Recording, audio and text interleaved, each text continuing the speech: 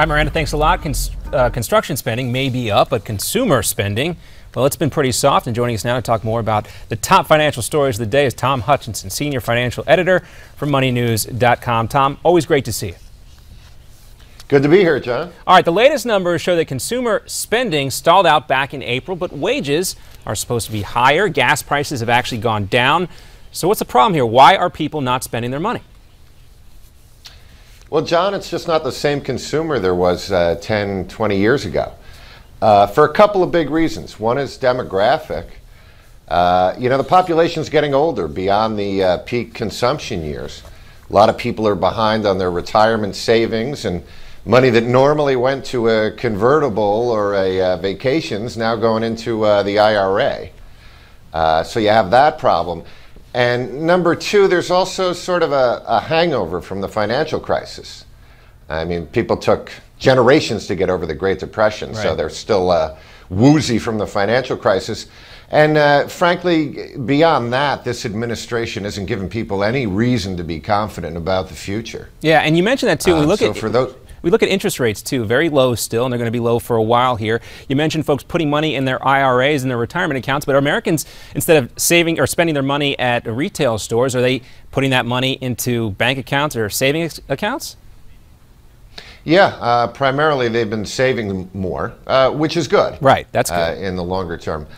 Uh, but you know, it's you're not going to get the same consumption levels uh, that we're used to in recoveries past. And uh, the consumer's going to buy things there's pent up demand for, of course. Uh, but it's just not going to be the uh, consumption orgy that uh, you saw in the 80s and 90s. okay, that's a vivid picture there. We also uh, saw the GDP dropping by 0.7% in the first quarter. When you look at also lagging consumer confidence and com- consumer spending, does that concern you? Well, it does. I think my picture of it is this I think the economy bad, was bad in the first quarter, and the second quarter is not going to be great.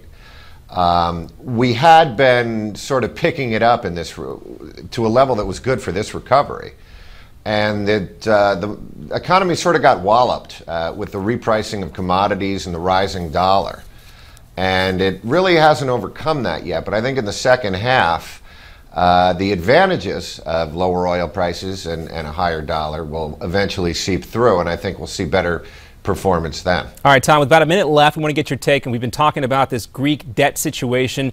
Uh, the bailout uh, is in the works now. We're hearing uh, that Germany's Chancellor Angela Merkel hosting that emergency meeting with the IMF today. Creditors say they are close to reaching a deal on this Greek bailout. Meantime, though, uh, and the Greek uh, finance minister says we're, we're not going to take any ultimatums here. What, what ultimately happens at the end of today?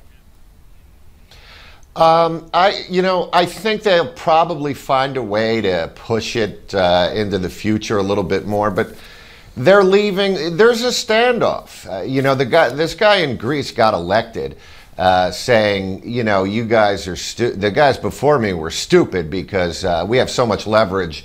They'll never let us leave the euro. There'll be a crisis in Europe, so we have much more leverage to get whatever we want. We can make a new deal without having to do this or this or this. Not true. Uh, Germany and the ECB have limitations on how much they'll give.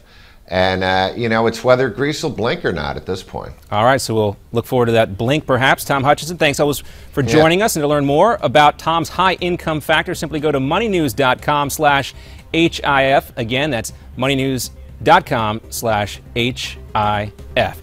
Tom Hutchinson, always great to see you. More coming up here on Newsmax. Now we'll take a look at the global headlines, what's making news around the world, plus a recap of an important interview with Alan Dershowitz and Michael Patrick Flanagan from Newsmax Prime just last night.